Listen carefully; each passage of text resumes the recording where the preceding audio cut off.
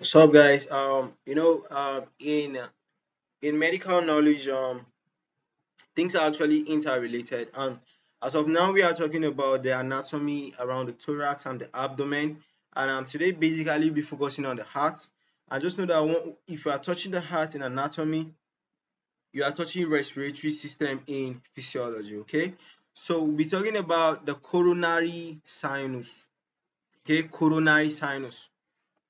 So they said that discuss the coronary sinus under the following headings. Okay, um, under the embryologic origin, the source, the cause, destination, approximate length, and tributaries. Okay, so um, this is the let's look at the coronary sinus. This is the coronary sinus. Okay, so we are discussing the coronary sinus under these headings. All right. So coronary sinus is basically like a venous um, structure around the heart. Don't worry, we'll get to it.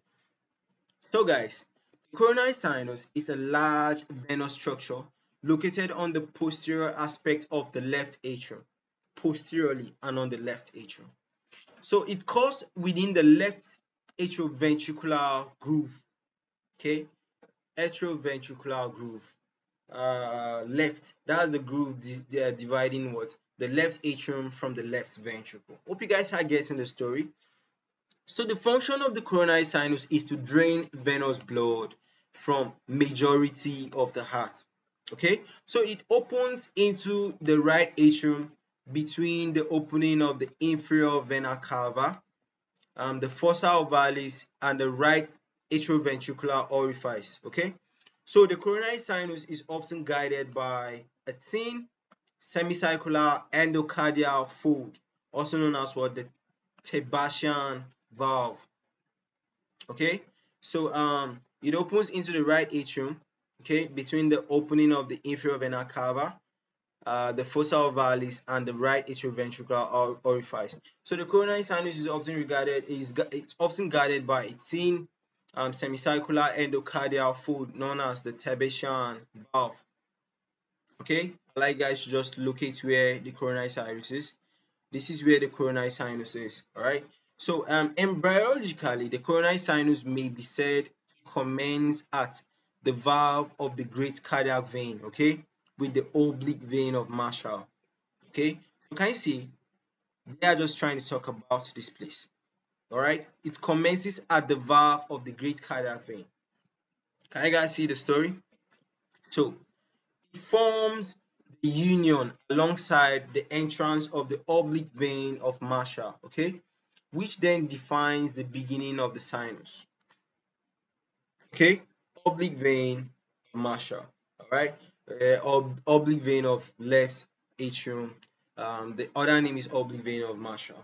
Okay, towards that point again, it forms a union alongside the entrance of the oblique vein of Marshall. Now, can you see that the oblique vein of Marshall is entering into the coronary sinus? So this is just the story, guys. Hmm? This is just the story, guys. Um, also, it's a wide venous channel that runs from the left to the right in the posterior part of the atrioventricular groove. Okay, it is a wide venous channel that runs from the left to the right. Okay, in the posterior part of the atrioventricular groove. Okay, so um, let's just get to our knowledge again. You can see the coronary sinus here it begins at the angle okay you see the uh, the great cardiac vein okay and um, uh, the oblique vein of left atrium oblique vein of Marshall okay feeds into the what coronary sinus we know that it is posterior okay? The left atrium. Now it ends by opening into the posterior wall of the right atrium okay? To the left of the orifice of the inferior vena cava okay? Now um the coronary sinus is about what three centimeters long and its tributaries are what small cardiac vein.